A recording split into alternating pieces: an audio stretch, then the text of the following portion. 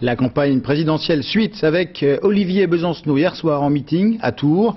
Parmi les nombreux candidats d'extrême gauche, le représentant de la Ligue communiste révolutionnaire est pour l'instant le mieux placé dans les sondages. Et d'ici le premier tour, il va multiplier les réunions pour améliorer son score de 2002. Il avait séduit à l'époque plus de 4% des électeurs. Cécile Laronce et Alexandre Dupont. Hier soir, Olivier Besancenot était attendu à Tours pour son 26e meeting. La fatigue est là, mais quand on est candidat à l'élection présidentielle, on n'a pas vraiment le choix. Un peu d'humour et c'est reparti. Je vous empêche de partir. Ah, t'inquiète pas, quel départ, quel départ. D'habitude, ça se passe jamais comme ça. Sachez-le, ça se passe jamais comme ça.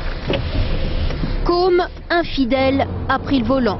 Contre toute attente, le leader révolutionnaire lit le magazine Challenge. Je le lis exceptionnellement puisque c'est Ségolène Royal qui a accordé euh, une interview.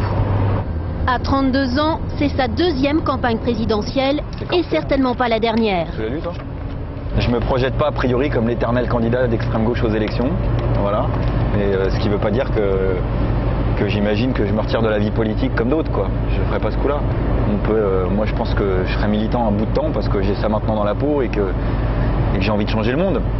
Il est 20h30. À Tours, 1300 militants sont au rendez-vous. D'entrée de jeu, Olivier Besancenot dénonce les dérives sécuritaires de la campagne présidentielle. Mais les questions sociales, elles sont tenaces dans ce pays. Elles se sont réinvitées parce qu'il y a de nouveau des salariés qui résistent au licenciement, qui militent pour une augmentation de revenus, parce que la banlieue, elle s'est réinvitée dans la campagne électorale, pas Gare du Nord, mais depuis des mois déjà. Sans note, pendant une heure et demie, il tient son public en haleine. Il attaque vraiment les adversaires comme Sarkozy, qui sont les amis des patrons, comme on le dit. C'est pas quelqu'un qui vient de- des finances, n'importe quoi. C'est du milieu, il est d'un milieu ouvrier.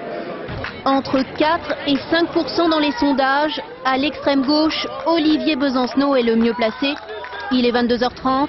Un dernier autographe avant de regagner Paris.